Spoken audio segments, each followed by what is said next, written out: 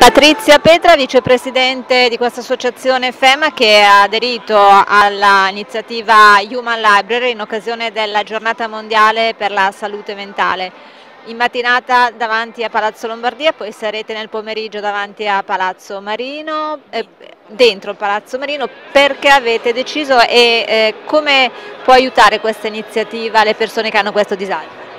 Allora, questa iniziativa aiuta le persone che hanno questo disagio nel senso che li valorizza e gli, fa, gli, permette attraverso un percorso di formazione di raccontare la propria storia. In realtà l'iniziativa è rivolta ai cittadini che hanno desiderio di conoscere un po' meglio che cosa possa essere il disagio mentale, verso cui c'è un pregiudizio e verso cui c'è uno stereotipo. In realtà il disagio mentale in diversa misura è qualcosa che può esserci molto vicino a un familiare, può far parte anche di un momento della nostra vita, una fragilità, un disagio, una disabilità mentale, amici, parenti. Che cos'è il disagio mentale?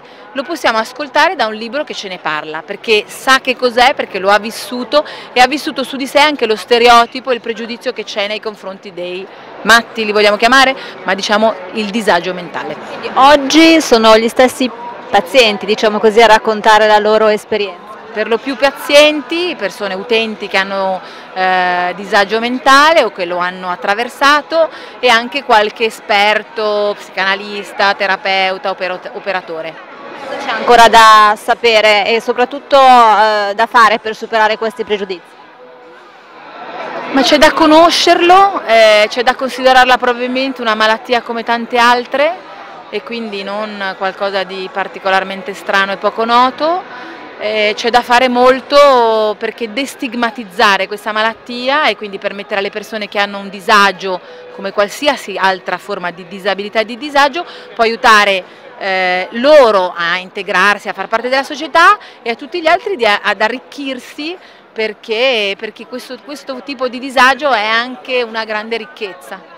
In mattinata qual è l'esperienza più forte magari che è emersa? E soprattutto i cittadini come l'hanno vissuta da parte?